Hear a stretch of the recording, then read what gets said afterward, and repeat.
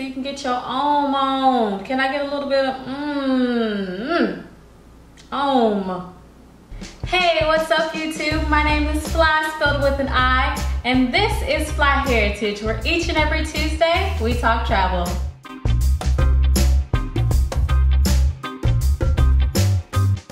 On today's episode of Travel Talk Tuesday, I'm going to tell you five, five, five, five, five, five good reasons to travel solo. Yay!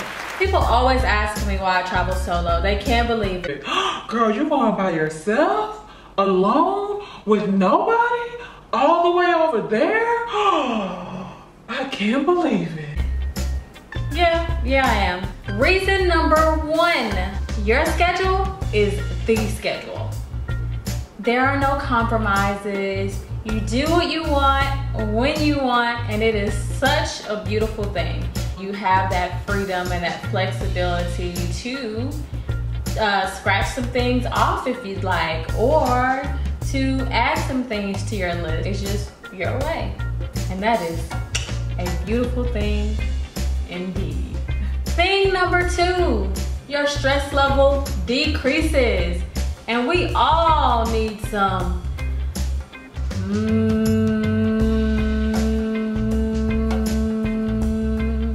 in our lives, don't we? Can you imagine the mad dash of five people running to the airport to catch a 5 a.m. flight? Come on, that's it adds to your stress. Even if you are on top of everything, you have everything in order.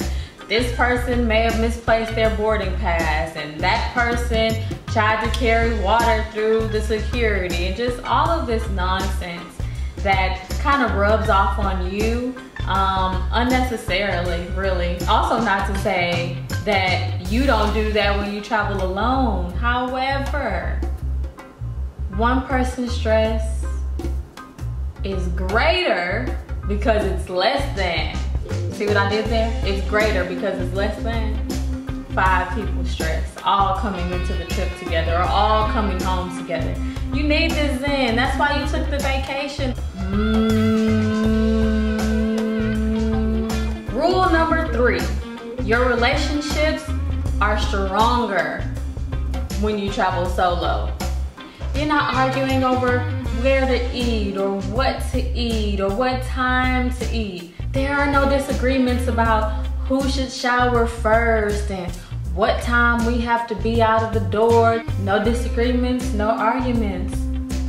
There remains some love for people in there. You can still love the people because you're not arguing with them. So, yay. Another reason why your relationship uh, remains stronger or grows stronger, it gives you, it gives people time to miss each other. It gives them time to kind of get away from one another and let the let that let the heart grow fonder, you know. And the fourth reason why traveling solo can be beneficial is because when you travel with someone, you might not end up traveling anywhere.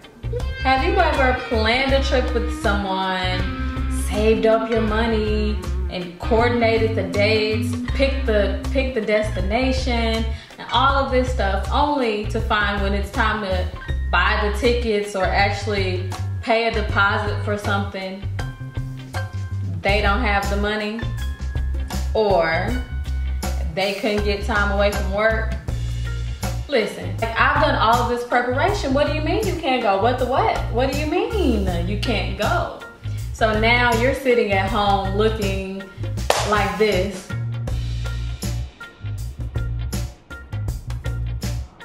That's happened to me plenty of times. So now I just be like, deuces.